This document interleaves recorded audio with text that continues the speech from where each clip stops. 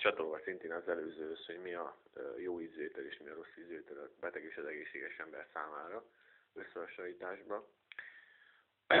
Tehát a beteg ember számára viszont kifejezetten indikált olyan ételek fogyasztása, ami totálisan addig még soha nem evett és nem is látott, és teljesen új számára, és jól esik.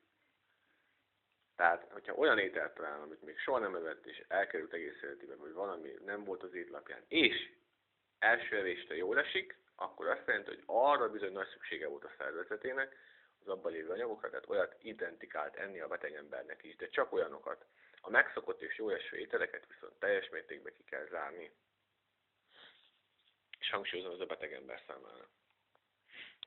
Ja, és amúgy az egészséges ember is, hogyha a, ha olyan ételt teszik, ami még soha nem látott és jól esik neki, azt szerintem eheti.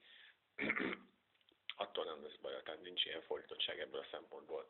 Csak a, abból a szempontból, hogy a megszokott ételek jó, leses, jó lesősége az, ami számít, és amiben változik a beteg és az egészséges ember.